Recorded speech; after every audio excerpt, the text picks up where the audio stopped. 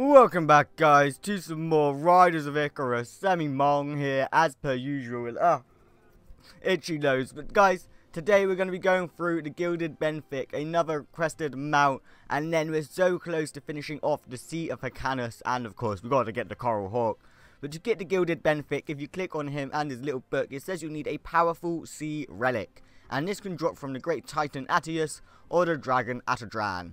Now, for pretty much, I've got the relic, okay? As you can see, I've got Ocean's Call, but I've not got the recipe. And this is because the recipe drops from Attius. So if I show whip back on my map, Attius, the raid guy up here, or the dragon boss called Dragon Atadren, who I'm pretty sure is in Vort Xenon. Correct me if I'm wrong. And oh my god, seriously itchy nose. But that's how you get the recipe. Now, I haven't got the recipe. If you go into Bartercraft, you can see I haven't got it. You actually get a Ocean's Call for defeating Attius. So the only reason you'd need to go back and either defeat Attius to get the recipe or to defeat the dragon to get the recipe is if your first Ocean's Call has failed because obviously you get a free Ocean's Call if you're able to tame the Gilded Benthic you won't necessarily need to go back and get the recipe whatsoever it's only if you fail actually taming the Gilded Benthic first of all is then you need the recipe. So yeah, that's how you actually pretty get it. That's how much you pretty get it. That's how much you. That's pretty much how you get it. Just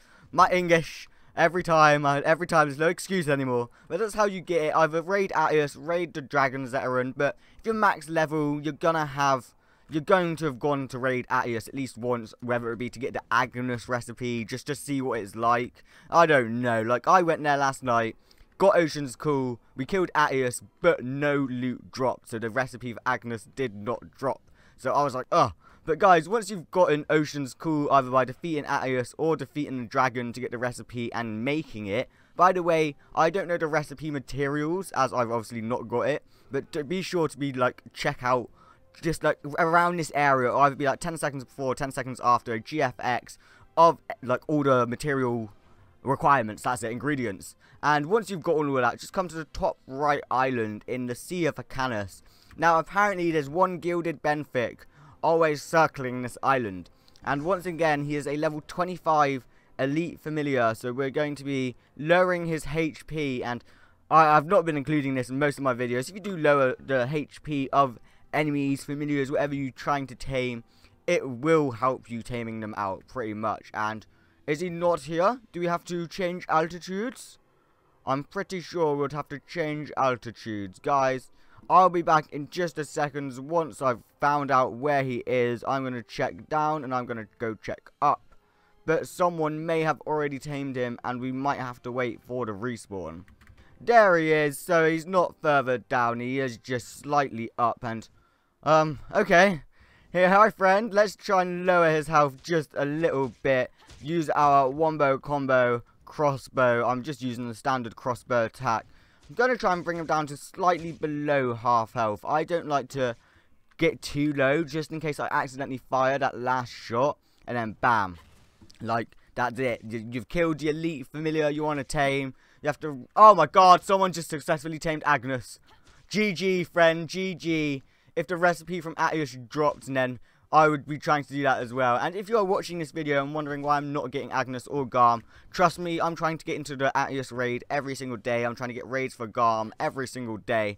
And it's just not happening. It's just not happening. But his health is now lower, so I'm going to go in and space, attempt to tame him. Right, we're on.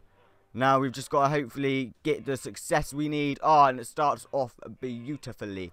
Now, the Gilded Benthic obviously looks kind of different to every other flying mount in the game, and we're currently stuck in a rock. Oh no! Alright, at least we've got him. At least it's a guaranteed tame. But if we go up and here we go, look at this. This is one of the most unique mounts in the game. Honestly, look at it. I remember when the game first came out, it was my first day and I didn't get my Founders Pack items.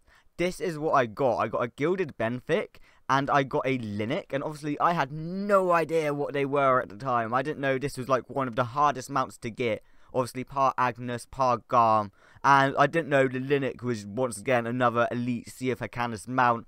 I just thought they were derpy, derpy looking mounts, but honestly, once you got a bit of context to it, you know it's an end game mount, and you know how hard it is to get. it does put it into perspective, and he just looks really weird. I mean, look at the little, the little feather. What, what are they called? Whiskers. Yeah, like a cat's whiskers coming off his nose. He's only got two.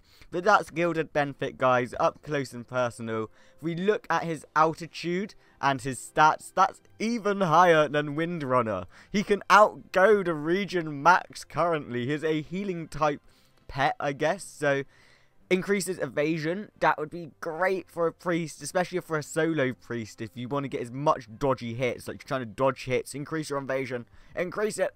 But what else is there? He's got a he's got a bit of defense. He's a bit more mixtured than the other ones. You see, like the other ones, 500.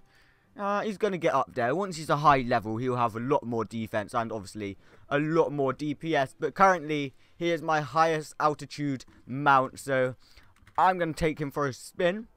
And yeah, he goes kind of fast. Guys, if you're going to go get a Gilded Benthic for yourself, be sure to leave that like down below. If there's any other mounts you want us to get before the update comes out, be sure to comment them down below.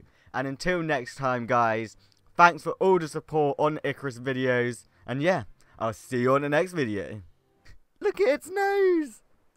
It's got literally, it's literally its nose is pulsating.